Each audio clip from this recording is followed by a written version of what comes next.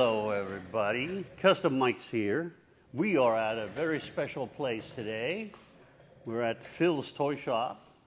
A friend of mine from England, another uh, flippin' foreigner like myself.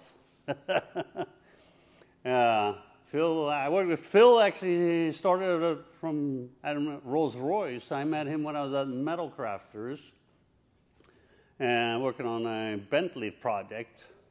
And uh, we've known each other for what is it now? Since '97. Yeah, 25 years. Yeah. Uh, and I worked together with him at N2A, building some of the 789s and other crazy stuff over there. Oh yeah.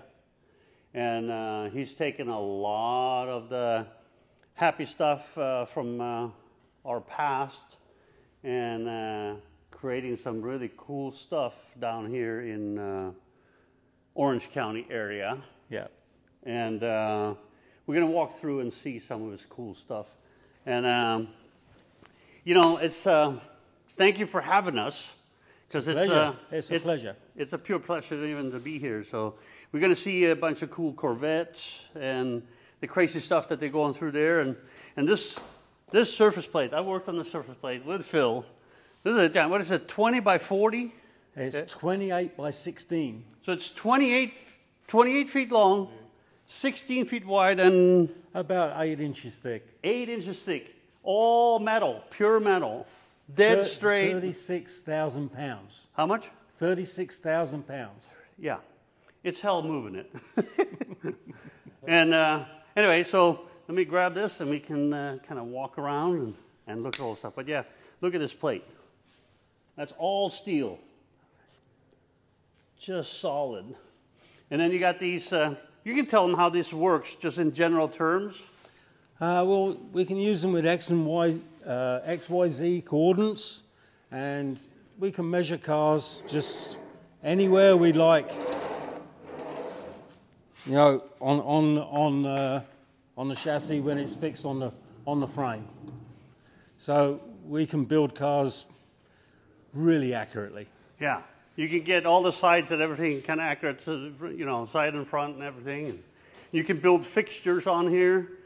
To this is a fixture we built on on another special project. Another project. Uh, we can't talk about. Uh, but building the fixtures and making the car, you can duplicate cars really well on here. And, yeah. Uh, I'm getting ready to build a fixture on this right now to do a repair on this red Corvette over here. Yeah, we should talk about it a little bit. Here's another one right here. Can you tell us a little bit about this one, Phil? Yeah, this is a 64 Corvette, which is this blue body here. So this body is going to end up on this nice new frame with uh, modern running gear and, and so on. Yeah. All new parts. You're doing quite a bit of those things, huh? I am doing quite a few right now. Yeah, and th- this is a good example of what you are doing. Yeah, this one, this is a resto mod, so this is a 63. Um, it's got an LS3 engine in it. We do all the modifications, fit that. And this is almost ready to go off to body and paint uh, probably next week. Beautiful. Huge brakes. And it's got mostly C4? C4 running gear on this one, yeah. Going to have air conditioning too. I a little air conditioning. Yeah, air conditioning has everything. Yeah. Building consoles and other happy stuff in there too. Yes. This is yeah, all, all new custom of, uh, interior. Custom work. Master and ma- mocking stuff up and making stuff work. So it's been really cool working with him over the years. This one's almost finished, but it's back in for some repairs. Yeah, this one sustained a little damage recently, so I'm going to build a fixture and we're going to put a whole new front clip on this car and then have it repainted again. This is a very similar car. It's got an LS3. Um, it's a very nice car. Beautiful. And this is one that's finished and uh, about ready, ready to go out. Yeah, this one's ready to leave on uh, Thursday, I believe. Yeah, it's got some big meats under that one too. That's right. This is also an LS3. Wow. All right, let's talk about this one first. Aha. So this one right here is? This is, I call it a BSA because I'd like to uh, bring back the BSA name. It's a vehicle I designed and built from the ground up Um, you'll see the finished one in a second. This one is going to be a plug-in version. Yeah, let's not tease him anymore. Let's let's show you show him your pride and joy, Oh, okay. and then we'll go back to the other two versions. But yeah, this one. When did you finish this one? I finished this one about six years ago. With the Harley motor. Yeah, it's a 100 inch Ultima aftermarket Harley engine. It's um, composite body, so the lower body and upper body are carbon fiber, and the fenders are fiberglass. It Has an aluminum backbone frame, uh, BorgWarner T5 gearbox with shaft drive to the back wheel, and a BMW motorcycle trailing arm in the rear. Wow. Crazy. And Fast? It's fast Yeah. and very stable. It handles really well. Well, I love the plate too. Fabulous. So that's that's kind of us, his first one. I love the stripe on that one too. Nicely done. All right, we'll talk about that one a little bit. So then you have two versions here, and you said this one's going to be This one's going to be plug-in electric, and then this other one's going to be an open wheel version. I love the opening. Yeah. A little aggressive. You gonna put teeth in there too? There's, there's, there's going to be teeth in this one. We're going to paint up so it looks like a P-51 Mustang airplane. Oh, that's gonna be so cool. That's gonna be so cool. Yeah, I love the head, the way the headlights come out of the front there too. It's really cool too, the incorporation of the mirror Yeah, into the wind, windshield. into the windshield. Yeah. If you So look is inside, you can see all the carbon lower body half. Oh yeah, yeah, yeah. A lot of work in this thing, huh? And then this was to be like a T-top. Is kind of what you're working on there. Or? Well, yeah, this is a, hard, uh, a roof that I was planning on doing. Um, this would be all acrylic, and then to fold it away, we made it so that it would fit literally inside the car. Oh, So you can you can take it out in wet weather. Hardtop convertible, kind of, sort of. Yes. That's cool. Yeah, Phil's pretty innovative little guy. yeah, and, and uh, you don't have a frame of one of these anywhere, right? Do you have a frame we can look I at? I haven't got. There's some pieces of one of the frames that are lent against the wall over there, but I don't have a complete frame Yeah, together. It's really, it's really innovative, the back bolt. there's there's he's done. one that's in there that you can just about make out. Yeah, everything's kind of incorporated in these plates and tubes and all the other stuff. And Yeah, the frame the frame doesn't have a weld in it. It all Yeah. bolts together. Everything Yeah. bolts together. Yeah, it's really cool, actually. Yeah. Windshield frame bolts in. Yeah, it all bolts on. yeah. So, yeah, this has been your baby for as long as I've known you. Yes, You it's know, been a in you know many different uh, what do you call it versions Yes. and ideas and that type of stuff you know yes, it, it took a long time, but uh, now the first one's done and all the molds are made, then we're good.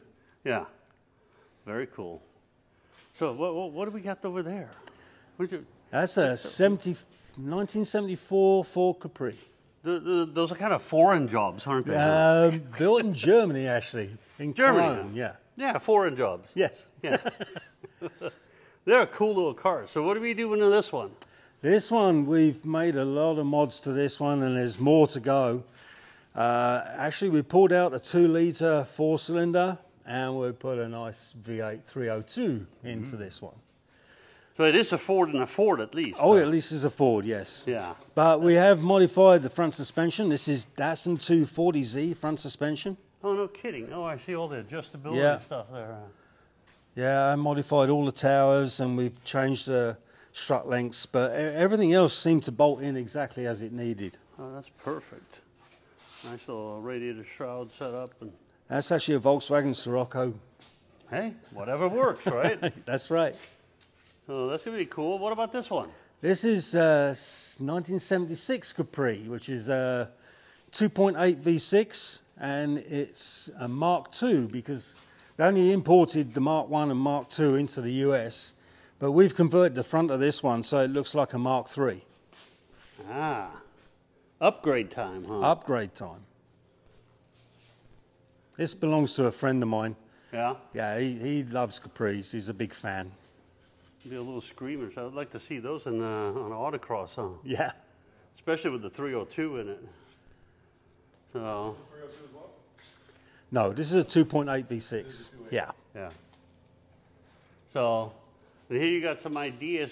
We, we can't really talk about that right there, but it is kind of cool-ish. Yeah, that's a project I'm working on with someone, which is, uh, I'll tell you a little bit. It's a, it's a diesel electric, and we are planning on it to be a disaster re- rescue or response vehicle. Okay. Uh, that's about as much as I can, Yeah, I a can lot of technology right in it. Yes. So yeah, Phil is also a, an accomplished electrician and knows a lot about uh, this kind of things. You know.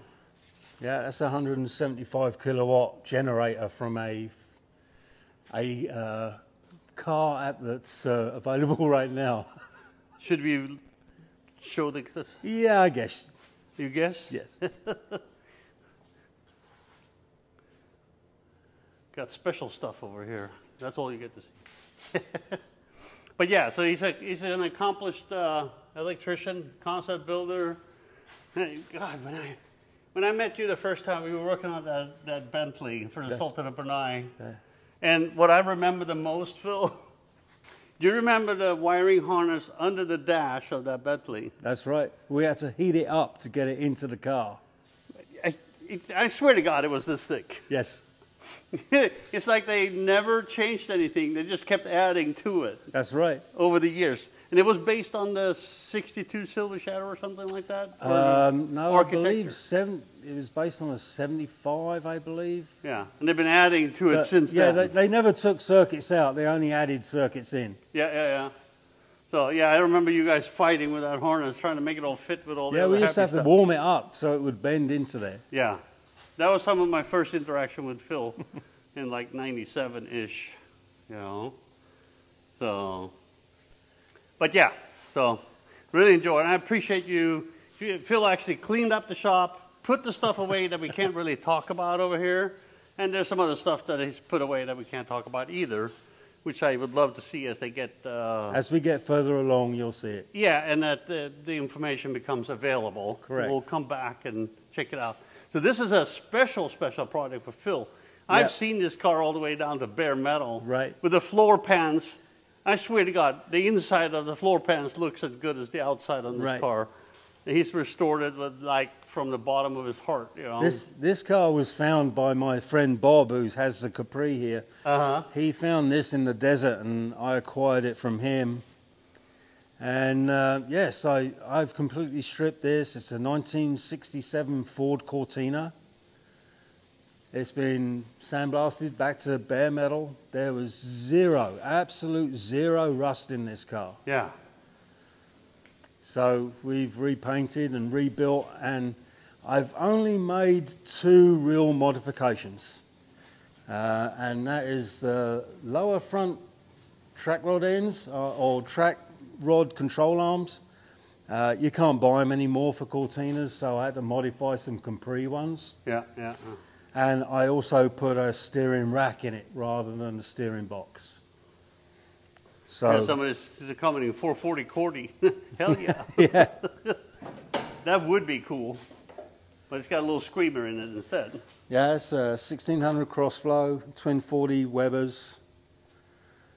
And it runs, it's just not, I still got to uh, do the jets on the carbs and get it running correctly, Yeah, yeah, yeah. Slowly but surely. slowly but surely. Yeah. But I used all the original brake lines. It's, it's 95% an original 67 car. Wow. That's crazy. Wow. You got a nice little, another uh, surface table there. What is it, about two inches thick? Um, it's about an inch and a half thick, yeah. Eight foot by five foot welding table. Nice. And then I see a plan for some, uh, little more room in here, huh? I'm toying with the idea of putting a stretch into this and make it a little longer. But uh, it is in the in the planning stage or thinking about. Hence the chair in the corner there. Yeah, this is the thinking chair right thinking here. chair. We sit and stare at it and see what we can come up with. May, maybe a beer or two, and you sit here and you go, Yeah. hmm, should we cut there, or should we cut there, or That's right. should we not cut anywhere? Now, let's see, you were talking about the frame that you might put this on.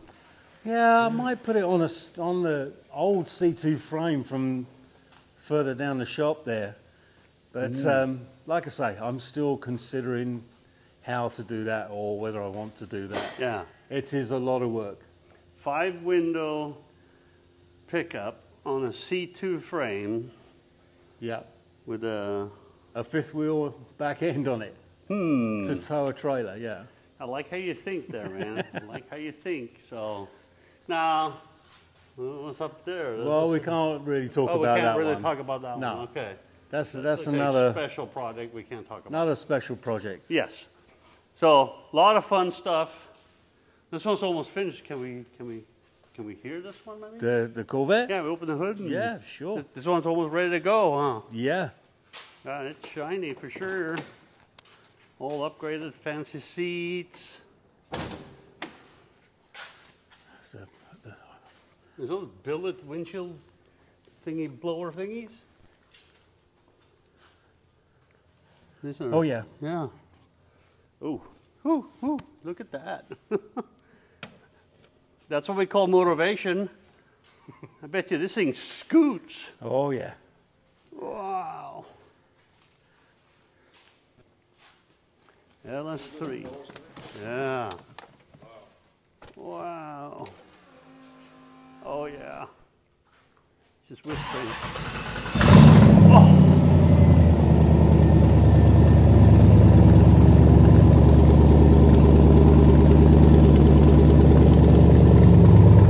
Wow.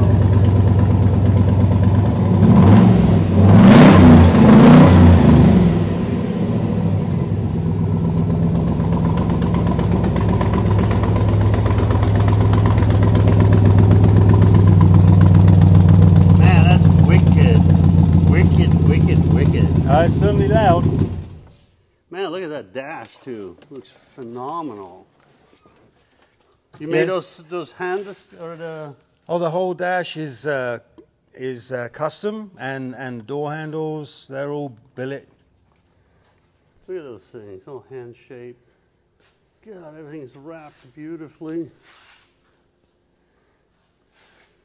You know, I had a 65, and I spent a couple years rebuilding it, making it pretty, and I took it back to original.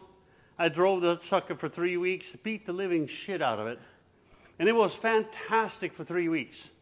Then after that, it's like it's like driving a freaking old pickup truck. you know, it's a piece of shit. Yeah. Oh, I, yeah, I was mad. I spent two years. Yeah, sorry, I didn't mean to use language there. I spent two years restoring this thing, and it was like driving a, a Chevy pickup, an old Chevy pickup truck with a fancy fiberglass body on it. Right. Now this, This is a whole different ball game because of the C4 running gear, coil over springs all round, bigger brakes. It's a different thing altogether. yeah. Unfortunately, budget is probably slightly different. Oh yes. Yeah, is that something we can talk about or not talk about? Let's just say there's a lot of zeros involved. There's a lot of zeros involved, but all those zeros comes with a lot of smiles too. I bet. Oh, yeah, for the I can't even imagine. The customer loves it. Yeah, I have no doubt. Uh, yeah, that would make this car fun again, you know. And there's a lot of people doing this kind of stuff, and I mean, obviously, there's uh, a lot of likes Oh, going yeah. that way. All, all of the, all four of these Corvettes, or four and a half, are the same customer. Ah, well, he's a smart one then, huh? And he's just bought another 67 coupe, I believe. Yeah. Wow. Yep. So that gives you. Uh, oh, look! What are those? What are you doing over here? They're 1960s. They belong to my good friend Bob. Ah, Uh, they're Lambretta scooters, and he uh, has quite a collection and wants to, or is restoring them slowly but surely. wow. Yeah, you got a little bit of everything going on. There's Yeah. some Marlon Brothers stuff up there too. That's huh? right. I just had I had one. I just sold it a few months back. Whoa. yeah, there's stuff. You know, you come into one of these shops. There's there's cool stuff everywhere. Is that an electric bike? Yeah, that's a, a Think electric bike. Uh, I don't think it works anymore. yeah. That's a hood we can't talk about either. Yeah, that's a hood you can't talk about. Okay. All right. well, and oh, I got to take a peek at those little half models or what scale are those? Ah, That's a good question. I, I just handmade these out of foam and I do it to a scale that looks right. Yeah. So that's where you started with your little. That's where I started with the three wheeler. Sat in my backyard of my uh, apartment and uh, that's where it all started. Wow.